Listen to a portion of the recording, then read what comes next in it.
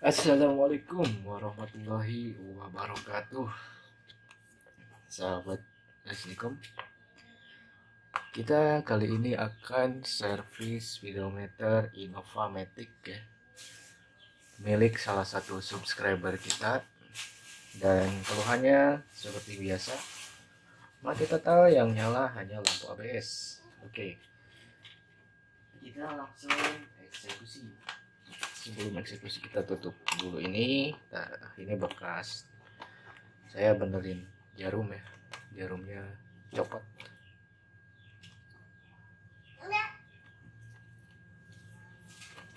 Push.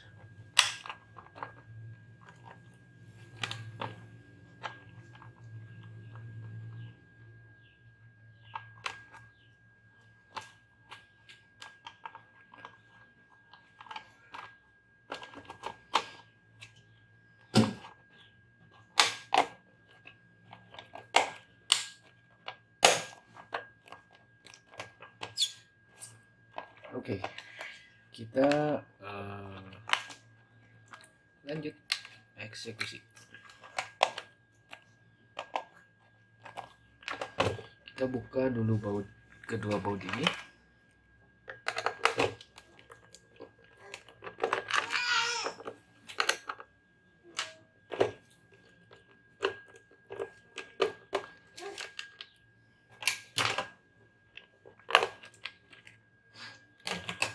Oke, seperti biasa kita akan cek uh, penyakit langganannya. Biasanya kalau speedometer ini adalah di kapasitor. Biasanya, apakah terlihat di kamera? Oke, yang langkah pertama kita cek kapasitor yang besar ini. Ini harus ada 330 F.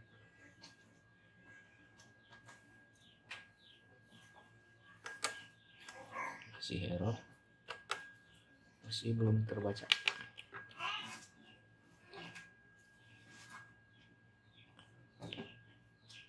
Oke, di sini 324 ada penurunan harusnya 330 ya turunnya lumayan jauh.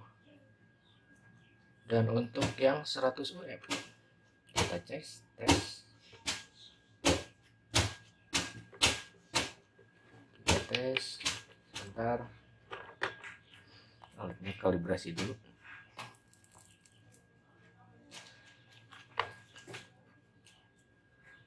Kita tes yang 300 web eh yang 100 web sorry. Apakah ada? Wow ini error ya. 378 378,8 web ini malah 15 error. Kapasitornya ini rusak satu. 380 yang ini kita tes oh yang ini pak malah nggak terdetek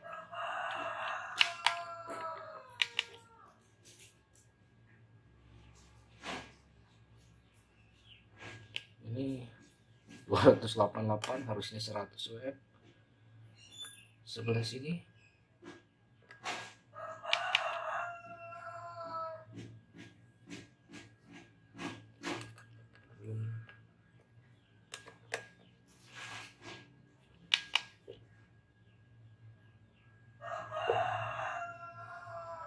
coba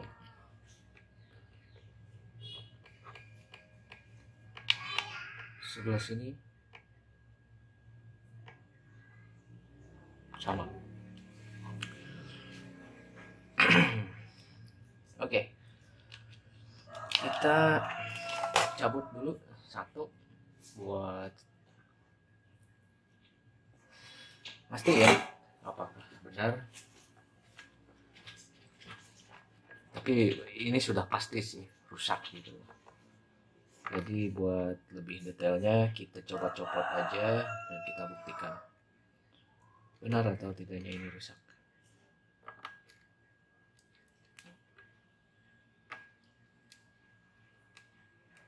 Oke oke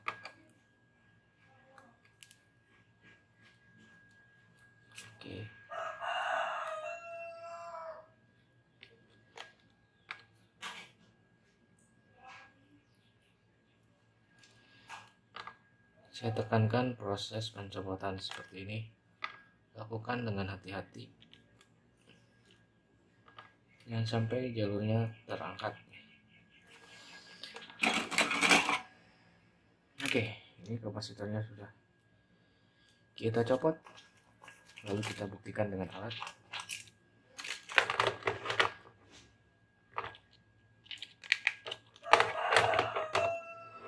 Kelihatan ya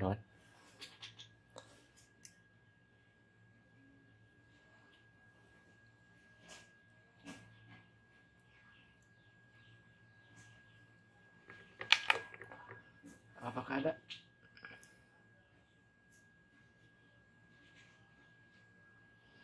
Delapan tujuh koma sepuluh. Delapan puluh tujuh koma sepuluh. Jauh banget ya. Turun kapasitornya coba kita buktikan. Uh, kita cari kapasitor baru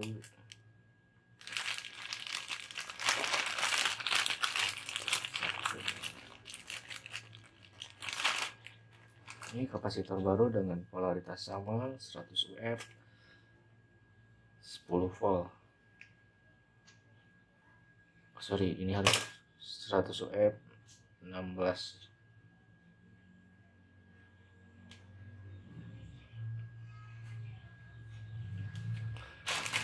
salah harusnya 16 ya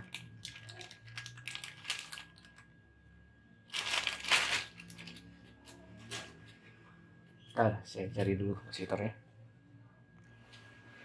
Oke, perbandingannya ini kapasitor baru 16 volt 100 UF. Nilainya berapa?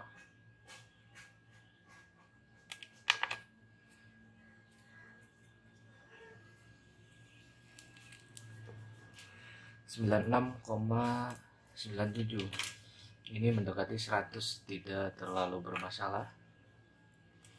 Yang bawahnya itu 8, 83 ya.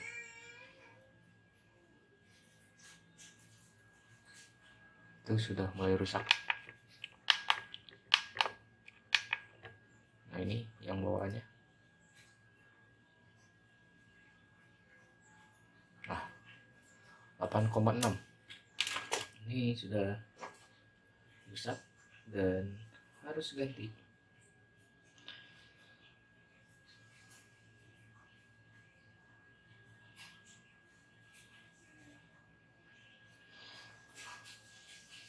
Oke kita langsung buka semua.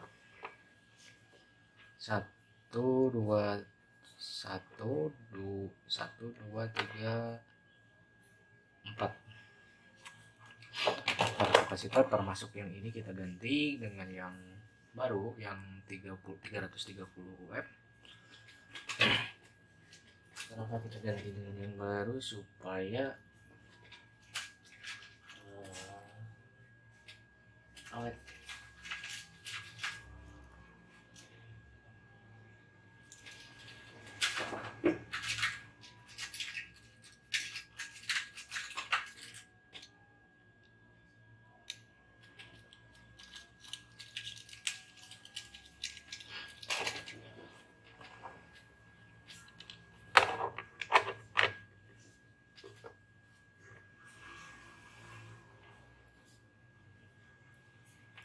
tes yang baru. Kapasitor yang gede ya 330 apakah ada? Oh salah. Enggak, enggak kebaca.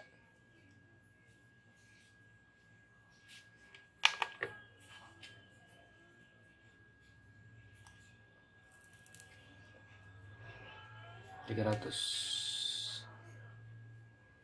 51 oke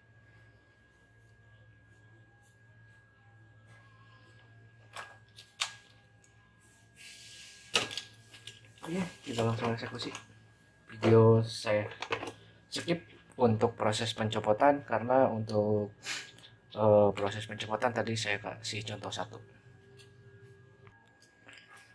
Oke kawan, ini sudah saya copot semuanya. Sekarang kita lanjut ke proses pemasangan. Sebelum pemasangan kita bersihkan dulu timah lamanya ya. Karena timah lamanya ini keras. Oke,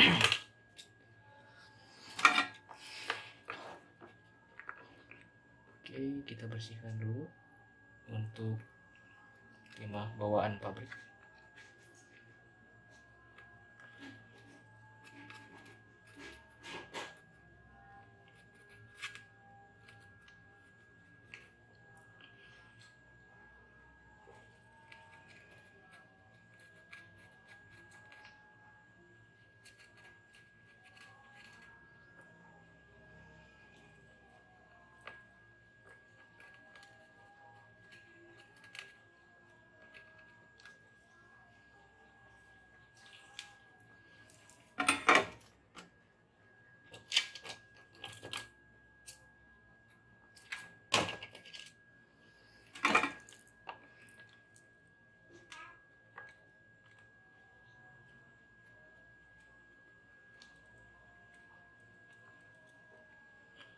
Innova itu sudah langganan ya.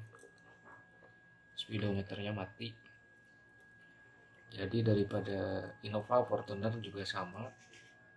Daripada kita beli speedometer baru mending di servis aja ya kawan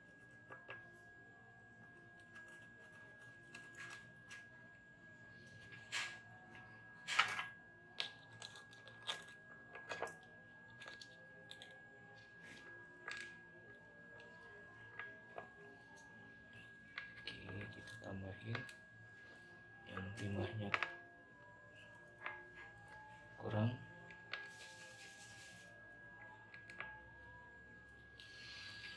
Oke kita pasang dulu untuk kaki oh sorry yang 35 voltnya dan ini negatif ini positif. Jangan sampai tertukar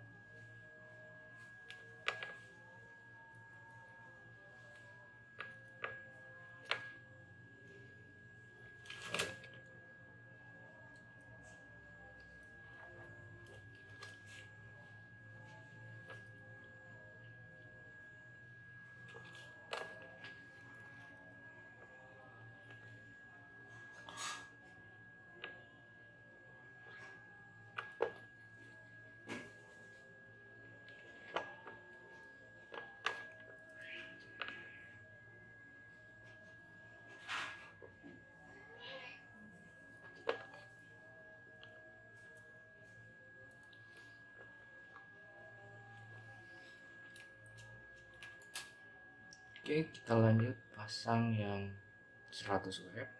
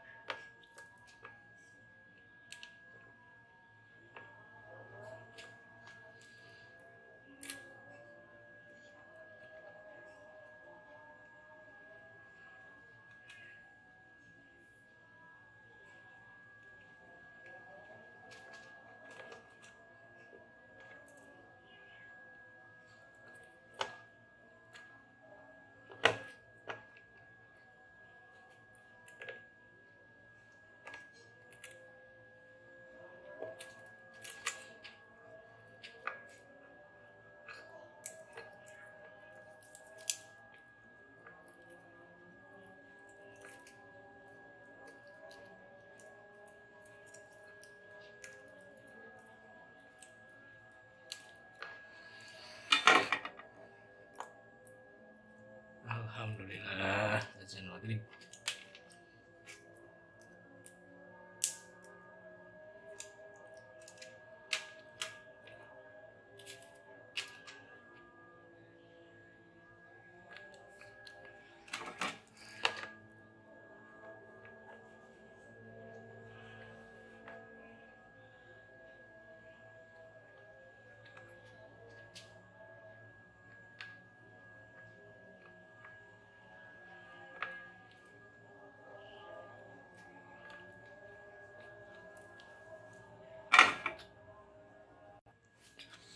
Oke, video saya lanjut. Uh, tadi kita skip. Dengarkan dulu kumandang azan maghrib ya. Oke, uh, ini pemasangan sudah selesai. Semua kapasitor sudah kita pasang. Dan kenapa saya putuskan ganti semuanya supaya lebih awet ya. Si Speedo ini tidak supaya lebih awet. Sebetulnya tadi yang rusak hanya 4, 4 biji kapasitor. Dan sekarang kita coba tes. Kita tes apakah nyala. Untuk wiringnya ini positif yang bawah positif yang warna kuning negatif ya. Bismillahirrahmanirrahim. Mudah-mudahan down oke ada tanda-tanda dan ini udah selesai. Kita cek.